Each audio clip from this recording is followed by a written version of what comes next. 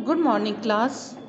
बच्चों, आज हिंदी वन में मैं आपको निबंध पढ़ा रही हूँ। इसके पहले भी मैंने निबंध में आपको दो टॉपिक पढ़ाया है, सैनिक और अच्छी आदतें। तीसरा टॉपिक मैं आज आप लोगों को दे रही हूँ, मेरा देश भारत। यानी अपने देश के बारे में हम कुछ जानेंगे तो इसे आप याद भी कर लीजिएगा। इसे भी मैंने पॉइंट्स में लिखा है ताकि याद करने में आपको आसानी हो और लिखने में भी आपको ज़्यादा आसानी हो। तो चलिए आज हम नया निबंध पढ़ते हैं मेरा देश भारत। इसमें मैं, मैंने पहले पॉइंट के रूप में चुना है भारत मेरा देश है। यानी हम जिस देश के निवासी हैं हमें सबसे पहले उस देश के बारे में बताना होगा कि हम किस देश के निवासी हैं तो मैंने लिखा यहाँ, भारत मेरा देश है, चूँकि हम सभी भारतवासी हैं। दूसरे नंबर पर मैंने लिखा, भारत को इंडिया तथा हिंदुस्तान भी कहा जाता है। तो बच्चों, भारत का प्राचीन नाम हिंदुस्तान भी है और अंग्रेज़ी में हम इसे इंडिया भी कहते हैं। भारत नाम राजा भरत के नाम पर हमारे देश का हुआ। तीसरे नंबर पर मैंने लिखा, इसकी राजधानी दिल्ली है, यानी भारत की राजधानी दिल्ली है। हर देश का अपना एक कैपिटल होता है तो हमारे देश का, भारत देश का कैपिटल है दिल्ली। चौथे नंबर पर मैंने लिखा है मोर भारत का राष्ट्रीय पक्षी है। यह जानना आप लोगों के लिए बहुत ज़रूरी है बच्चों, कि हमारे देश का राष्ट्रीय पक्षी कौन है? तो हम कहेंगे, हमारे देश का राष्ट्रीय पक्षी मोर है। और दूसरा मैंने लिखा, बाघ राष्ट्रीय पशु है। ये भी जानना आप लोगों के लिए बहुत ज़रूरी है कि हमारे देश का राष्ट्रीय पशु बाघ है। तो मैंने इसे यहाँ पर एक लाइन में जोड़ दिया है कि मोर भारत का राष्ट्रीय पक्षी है और बाघ राष्ट्रीय पशु है।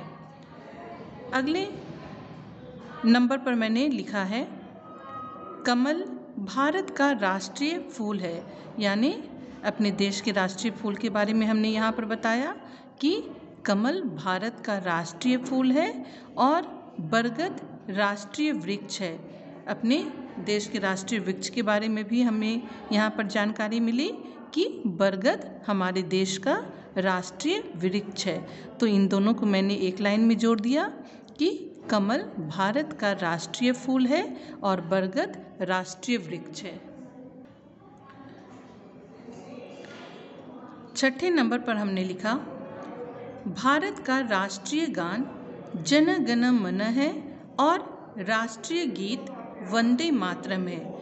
यहाँ बच्चों, आप लोगों को ध्यान देने वाली बात यह है कि गीत और गान दोनों अलग अलग है। इसे आपको ध्यान देना होगा कि हमारे देश का राष्ट्रीय गान जन गण मन है और राष्ट्रीय गीत वंदे मातरम है। इसे आप कभी एक साथ मत मिलाइएगा, क्योंकि गान और गीत पर आप ध्यान दीजिएगा। ये भी आप लोगों के लिए जानकारी के लिए बहुत ज़रूरी है। इसे आप जान लीजिए कि आप दोनों को में अंतर रखिएगा, यानी गान और गीत में। तो इसे भी मैंने यहाँ पर एक लाइन में जोड़ दिया है कि भारत का राष्ट्रीय गान जन गण मन है और राष्ट्रीय गीत वंदे मातरम है। अब मैंने खेल के बारे में बताया कि हमारे देश का राष्ट्रीय खेल हॉकी को चुना गया है। तो सातवें नंबर पर लिखा कि हॉकी भारत का राष्ट्रीय खेल है। अब मैंने यहाँ धर्म के बारे में लिखा कि भारत में कई धर्मों को मानने वाले लोग रहते हैं। यानी यहाँ विभिन्न धर्मों को मानने वाले लोग आपस में मिलजुल कर रहते हैं। उदाहरण के लिए मैंने यहाँ पर सिर्फ़ लिख दिया है कि हिंदू, मुस्लिम, सिख, ईसाई, इसे आप ध्यान दीजिएगा कि यहाँ विभिन्न धर्म के मानने वाले लोग आपस में मिलजुल कर रहते हैं।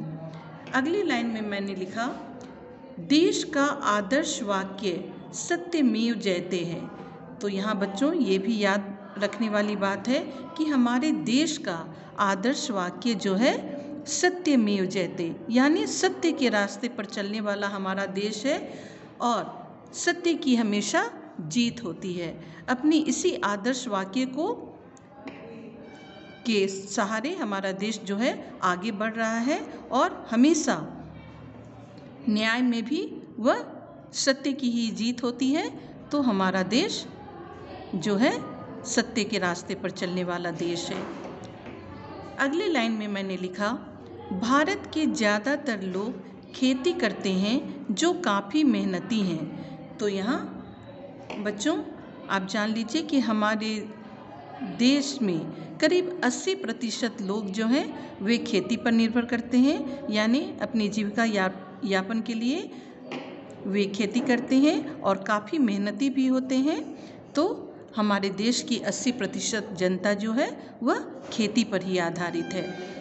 तो यहाँ पर मैंने इस लाइन को जोड़ दिया कि भारत के ज़्यादातर लोग खेती करते हैं, जो काफ़ी मेहनती होते हैं। और लास्ट में मैंने लिखा कि हमें अपने देश भारत पर गर्व है और हमेशा रहेगा। तो यहाँ पर इस लाइन को लिख करके मैंने इस निबंध को समाप्त किया है। तो इस तरह से मैंने यहाँ पर ग्यारह पॉइंट लिखे हैं। इसे मैं जब भी पीडीएफ में भेजूँगी आप लोगों को तो इसे और भी छोटा बना दूँगी। यहाँ समझाने के लिए मैंने यहाँ पर राष्ट्रीय पक्षी, राष्ट्रीय पशु, राष्ट्रीय फूल, राष्ट्रीय वृक्ष, राष्ट्रीय गान, राष्ट्रीय गीत और राष्ट्रीय खेल को जोड़ दिया है, ताकि आपको अपने देश भारत के बारे में ये जानकारी होना ज़्यादा ज़रूरी है। जब मैं पी पीडीएफ भेजूँगी तो आप उसे क्लास वर्क कॉपी में उतार लीजिएगा और याद कर लीजिएगा। तो ये तीन टॉपिक जो हैं आपके अच्छी आदतें, सैनिक और मेरा देश भारत, ये तीनों टॉपिक आपके फाइनल के लिए हैं, जो आपके एग्ज़ाम में आएगा। तो आप इस टॉपिक को याद कर लीजिएगा और पॉइंट्स में ही लिखिएगा तो आपको लिखने में भी आसानी होगी और याद करने में भी आसानी होगी। तो आज के लिए इतना ही। Thank you class